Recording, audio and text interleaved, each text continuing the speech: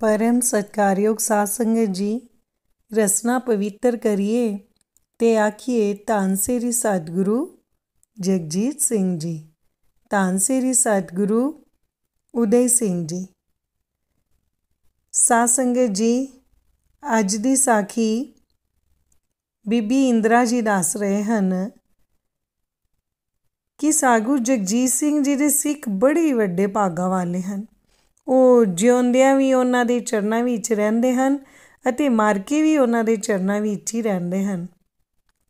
ਬੀਬੀ ਇੰਦਰਾ ਜੀ, ਸੁਪਤਨੀ ਸੰਤ ਗੁਰਦੇਵ ਸਿੰਘ ਜੀ ਦੱਸਦੇ ਹਨ ਕਿ ਕਿਸ ਤਰ੍ਹਾਂ ਉਹਨਾਂ ਦੇ ਮਾਤਾ-ਪਿਤਾ ਦੇ ਘਰ ਉਹਨਾਂ ਦੇ ਭਰਾਵਾਂ ਦਾ ਅਤੇ ਉਹਨਾਂ ਦਾ ਆਪਣਾ ਜਨਮ ਹੋਇਆ ਅਤੇ ਕਿਸ ਤਰ੍ਹਾਂ ਉਹਨਾਂ ਦੇ ਪਿਤਾ ਜੀ ਚੜ੍ਹਾਈ ਕਰਨ ਤੋਂ ਬਾਅਦ ਸਾਗੂ ਜਗਜੀਤ ਸਿੰਘ ਜੀ ਦੇ ਚਰਨਾਂ ਵਿੱਚ ਜਾ ਬਿਰਾਜੇ ਹਨ।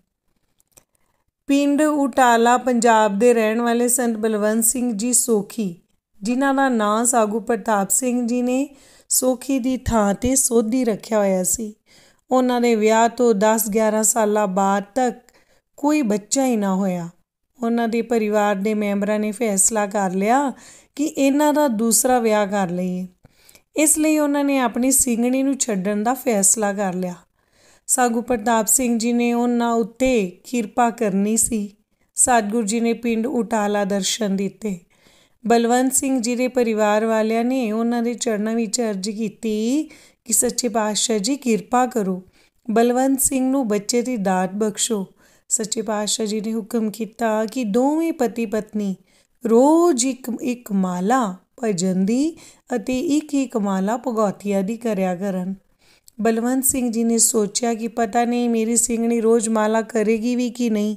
ਸੋ ਉਹਨਾਂ ਨੇ ਰੋਜ਼ ਇੱਕ ਇੱਕ ਆਪਣੇ ਨਾਂ ਦੀ ਤੇ ਇੱਕ ਇੱਕ ਆਪਣੀ ਸਿੰਘਣੀ ਦੇ ਨਾਂ ਦੀ ਮਾਲਾ ਕਰਨੀ ਸ਼ੁਰੂ ਕਰ ਦਿੱਤੀ।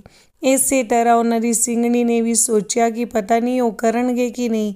ਉਹਨਾਂ ਨੇ ਵੀ ਰੋਜ਼ ਇੱਕ ਇੱਕ ਆਪਣੇ ਨਾਂ ਦੀ ਅਤੇ ਇੱਕ ਇੱਕ ਆਪਣੇ ਪਤੀ ਦੇਵ ਦੇ ਨਾਂ ਦੀ ਮਾਲਾ ਕਰਨੀ ਸ਼ੁਰੂ ਕਰ ਦਿੱਤੀ।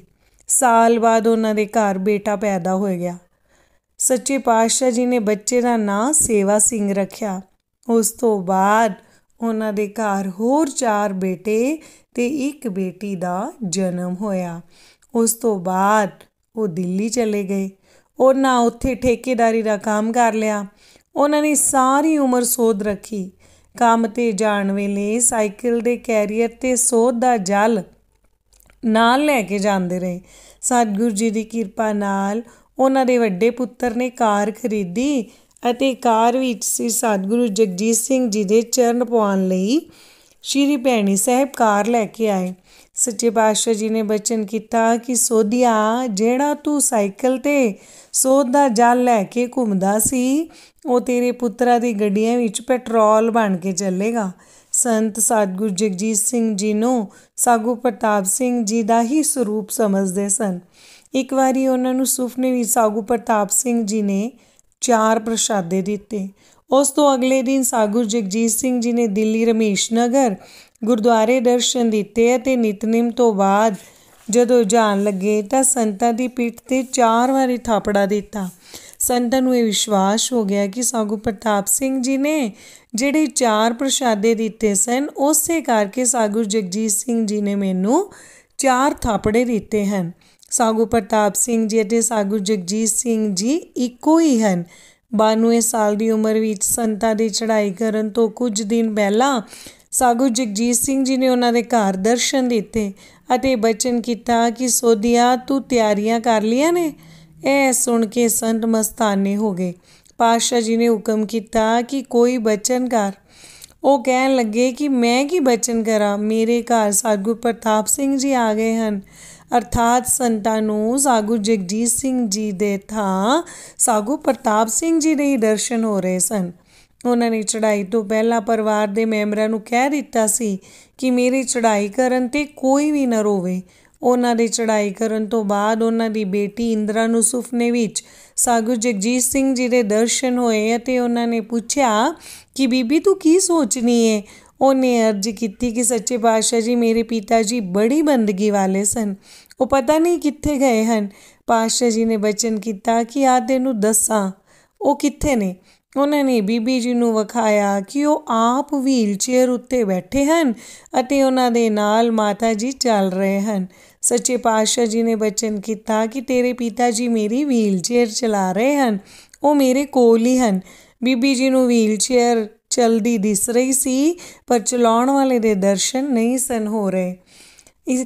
ਕਿਸੇ ਆਤਮਾ ਦੇ ਸੰਸਾਰ ਤੋਂ ਜਾਣ ਤੋਂ ਬਾਅਦ ਅਰਦਾਸ ਕੀਤੀ ਜਾਂਦੀ ਹੈ ਕਿ हे ਅਕਾਲ ਪੁਰਖ, ਉਸ ਆਤਮਾ ਨੂੰ ਆਪਣੇ ਚਰਨਾਂ ਵਿੱਚ ਨਿਵਾਸ ਬਖਸ਼। ਸਨ ਬਲਵੰਤ ਸਿੰਘ ਜੀ ਨੂੰ ਚੜਾਈ ਤੋਂ ਬਾਅਦ ਜਿਸ ਦੇ ਚਰਨਾਂ ਵਿੱਚ ਨਿਵਾਸ ਮਿਲਿਆ, ਉਹ ਸਤਿਗੁਰ ਜਗਜੀਤ ਸਿੰਘ ਜੀ ਅਕਾਲ ਪੁਰਖ ਨਹੀਂ ਤਾਂ ਹੋਰ ਕੌਣ ਹਨ? ਆਓ ਉਸ ਭਗਤ ਵਚਲ ਦੀਨ ਦਿਆਲ ਗਰੀਬ ਨਿਵਾਜ। ਘਟ ਘਟ ਵਾਸੀ ਸਤਿਗੁਰ ਜਗਜੀਤ ਸਿੰਘ ਜੀ ਅੱਗੇ ਅਰਦਾਸ ਕਰੀਏ ਕਿ ਸਾਨੂੰ ਆਪਣੇ ਸਰੂਪ ਦੀ ਲਖਤਾ ਕਰਾਓ।